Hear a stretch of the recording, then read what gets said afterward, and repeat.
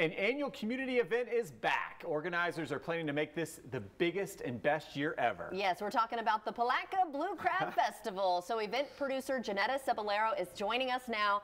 Welcome to First Coast Living. Thank you so much for having me this morning. I remember we did a Zoom last year, We so did. we're very happy to have you in the studio today. Tell us about uh, the Blue Crab Festival. So the Palatka Blue Crab Festival, it's the 30th year. Oh, wow. Um, so it's a long-running Florida, small town, big event. It's um, it's sort of been legendary over the years. It has water ski shows and um, carnival and over a hundred vendors, um, concerts for three days. It's Memorial Weekend, Memorial Day weekend. So um, it was originally done, you know, to honor the veterans, and it kept growing and growing and.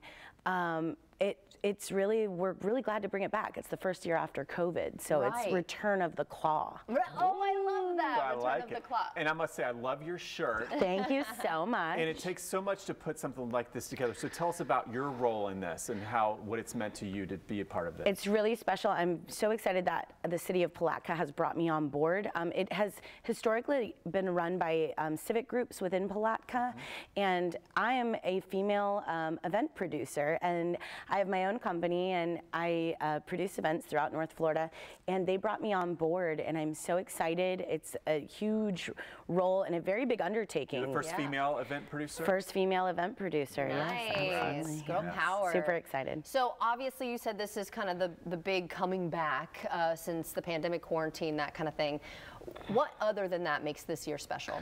So this year has national headliners, which Oh. is very big for Palatka. I think, you know, somewhere in the mid 90s they had 38 special. Oh, yeah. oh, we know a 38 special. 38 special. This year they have Little Texas, which is huge country Yeah. band. I know Little Um, Genuine. Oh, yeah. They have um, the original Wailers. Oh my gosh. So, so I worked to to comprise this concert. It's over 34 local, regional, and national acts, and they're all free. Whoa, so is it one okay. day though, or is it three multi- days. It Okay. You starts get Friday at 6 p.m. Okay. And the last act takes the stage Sunday at 8 p.m. And you, Okay. you know your music personally. Tell us more about that. You know you know about that. So I'm in a band. You know, no big deal. Ramona and the Riot. If you're into if you're into live music in North Florida, we've probably crossed paths. at And some then before point. we go though, I Yes. have to ask, why um, blue crab? I mean, what's the significance? So blue crab is, you know, it's it's seasonal. It's within Florida. It's abundant. Right. Um, the food is southern, and you know the crab is in the air. It's the essence Tell of me more seafood. about this food. So we got the crab and what kind of other things? Um, so we so basically when you arrive to Blue Crab, we have um, free shuttles to bring you right down in. Oh, yeah. Nice. Okay. Um, we have uh, over 110 local vendors, food Wow. trucks, Okay, um, dining like paella on a steaming on Oh a thing. You know, I mean, a huge, massive stage and a full carnival.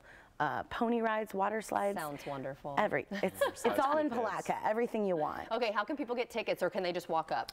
It is open, so it, there's no ticket. It's Oh, you So did say it was free. free. That's right. That's it's what makes it open to the public. But with all this stuff, I'm expecting yeah. to pay. Yeah, so, but should they bring their card then, cash for so, the food? so there are ATMs on site. Okay. Um, they should bring. We can accept cards or cash. Um, 21 and up for the alcohol, of course. Yes. Um, we have some really fun stuff going on all throughout the event. Um, there are some paid events as well. Okay. You know, um, if you want to ride a pony, you may have to pay Okay. five bucks, but. well, we can't thank thank you you so enough. much. Absolutely. Thank you so much for having me. All right, you're welcome. And of course, for more on this, head on over to firstcoastliving.net.